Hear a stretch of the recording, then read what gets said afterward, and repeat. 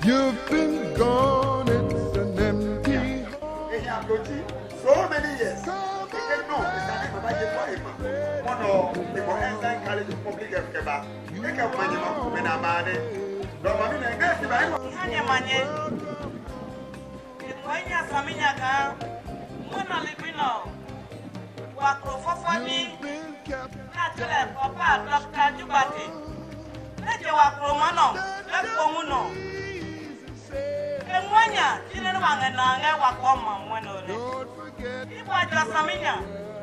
Ija kata mwanye jimio. Ili kwega, ku mwa kuma ba masine kwa mwano. Nete mwana wa enyani. Ne papa, sabla jupate. Enyeme wala walime. Alele. Alele.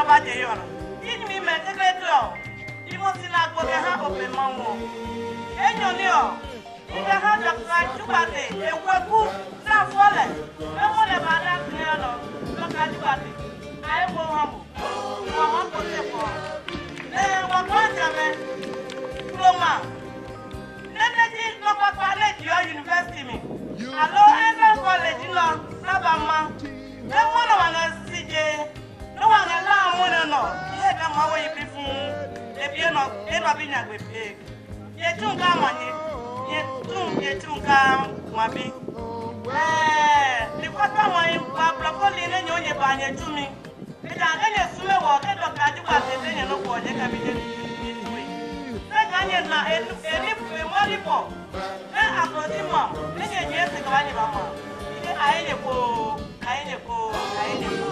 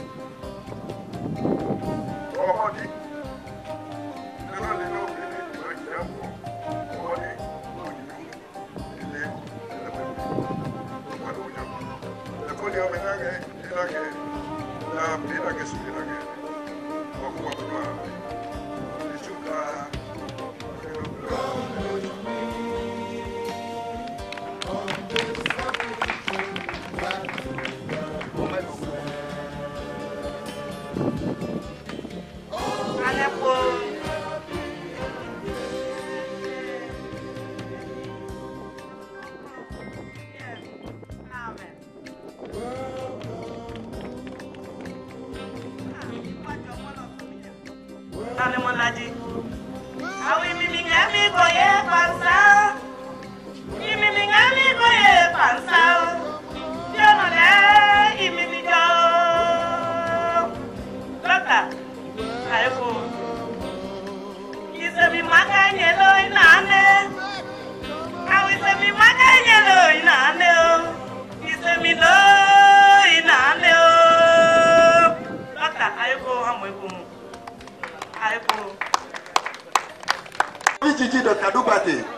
ihe kɔ Ezen College of Public Health kɔba kɔm yi nye ma yina anyinɔge ɛgba vide yi kɔmi la wani kɔmɛ watsɛ kɔ wa yɔyɛ abini ne do yɔ wani ɛhɔn na tɛ na foundation tukui tɔwi ne ani yɛ ni si mɛ alo ayɛ hawo mi do ɛsɛ dze gba.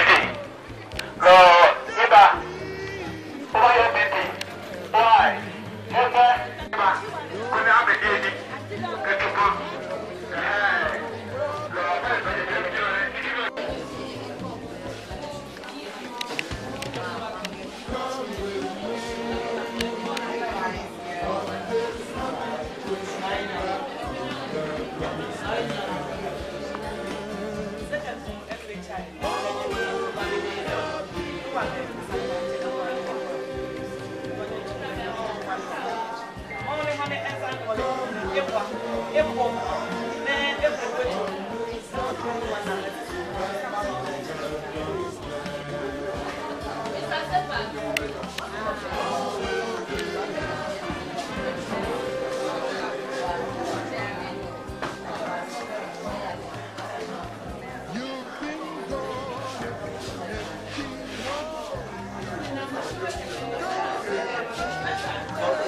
you.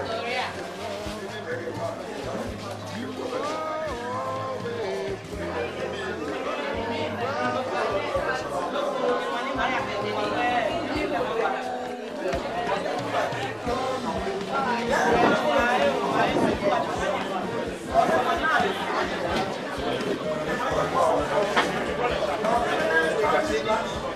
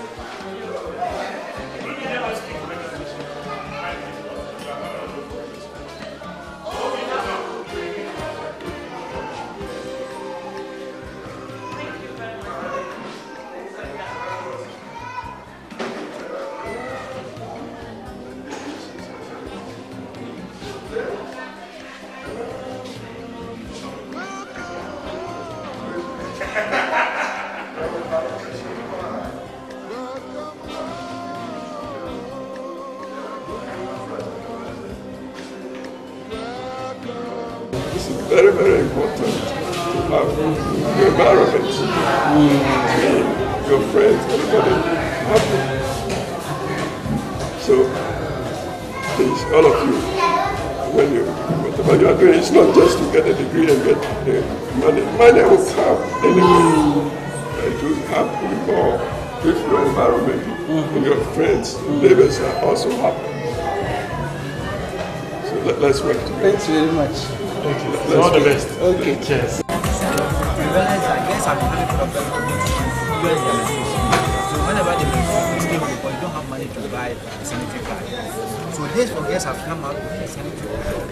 That is what So when the girl gets with this type of as a use and lose it, the So when they get this, they don't have to worry about that, also take them about the reproductive health, about their menstrual cycle, and also personal hygiene. How to take care of yourself, personal hygiene, about safe measures, how to the So we teach all this. We also teach grown-up women about menopause also.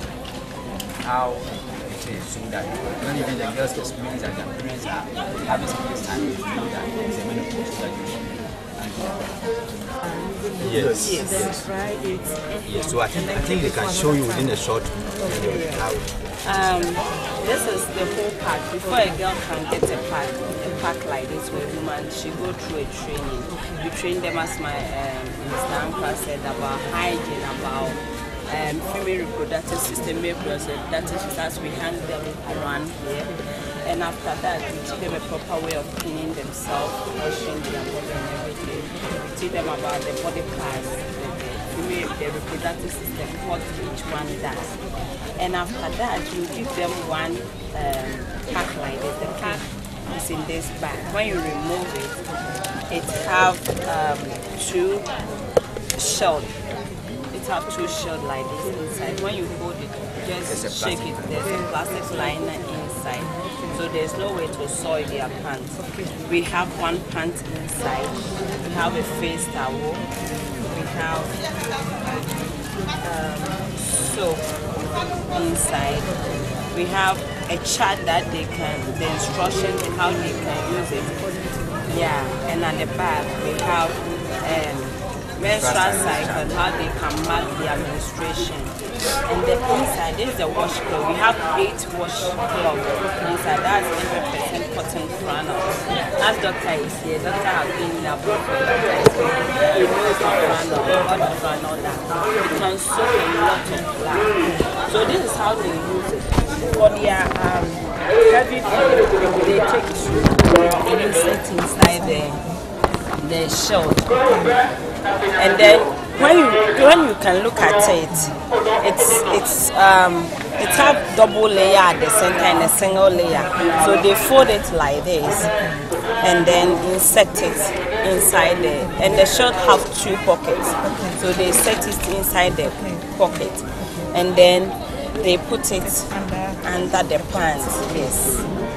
Under the pants beautiful like this before they put it on. And one thing is that it will never wet their pants or wet their clothes because it have a plastic liner in between the one you are holding.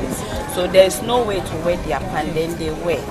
So when they are going out, it have two plastic liner. They hold this plastic liner inside this Ziploc bag, and at the same time, taking some of the the, the shell, the, uh, the washcloth, and put it inside. So when they feel that they are wet, they go to a washroom, remove the one that is wet, put it nicely in here.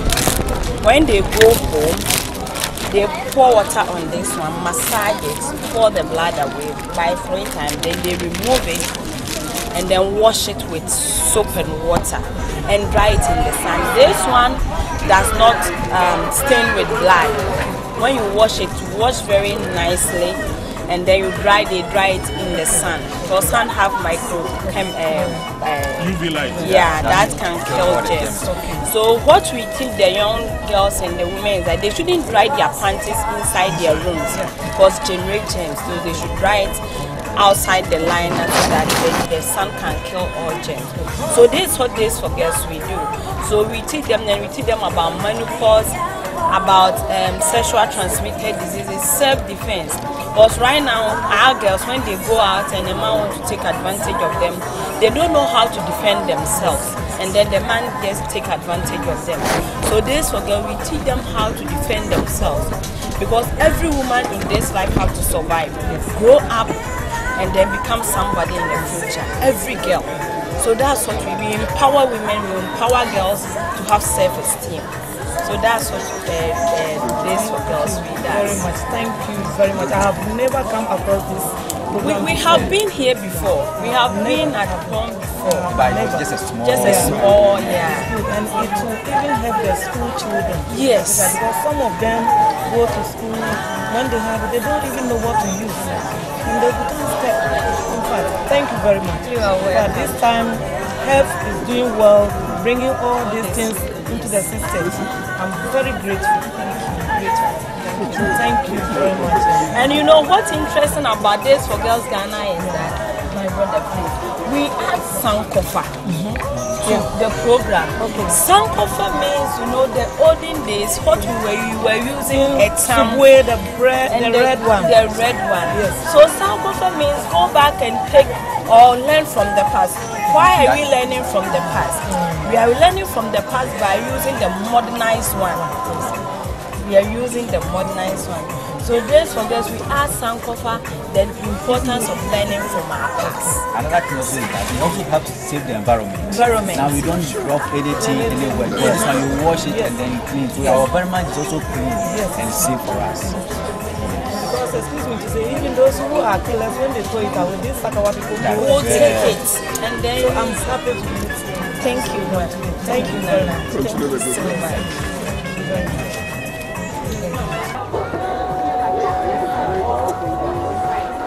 much. Basically, we do training for women on uh, entrepreneurship, business skills, and some of them who have the need for, we provide them with some microcredit for them to do their businesses.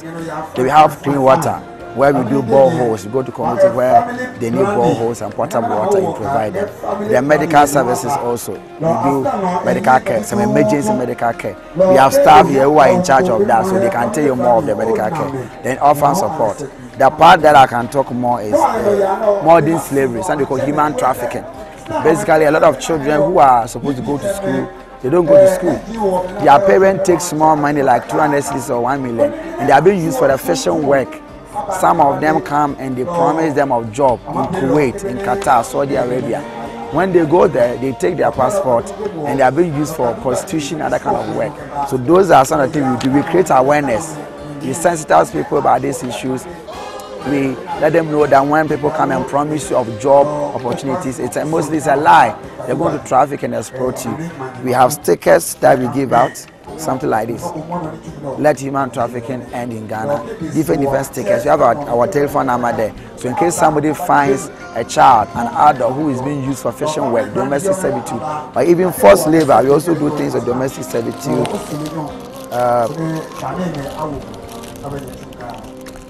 things like forced labor, people who are not less than 18 years and they are being forced to marry beyond their will. It's, it's against the law, it, it's, it's a crime. And so we have telephone numbers there, they can always call us and then we're able to help to address the issue. So basically that is the overview, but we have a team of staff who also work on the literacy and they also work on the health. So in case you need them more to know about the health, I think they can also. In fact, I will not deceive you. You see some small, small girls they've married, they, they give them to marriage men who are maybe 40 years, 40 years and, above. and above 60 years, and you see them giving 12 years old girl, 13 years old girl. In fact, it pains me that two years ago, this system was not around. Like I would have given you about 10 people in this town. But all the same, I'm around. And I will make sure that I will be more than the CID to bring you more people so that we deal with them so that the children can continue their education and then become somebody in future. If not because of Dr. Jugbate today, we wouldn't have brought you people here. Thank you. And so through him, because the parents sent him to school and he also obeyed them and then took the, the studies seriously. That is why today he's here. Some children are in the house now sick because they were not having that beginning the parents could not send them to school. It wasn't their fault because they don't have anything doing. So I'm happy I've met a group like this today. And today it's like a, a I don't know. I would say God has given me something today in being a mother of both. And so I thank you people very well for coming. Now make sure that I will use, I will keep these things to guide me, to trace you people. Yes, this is my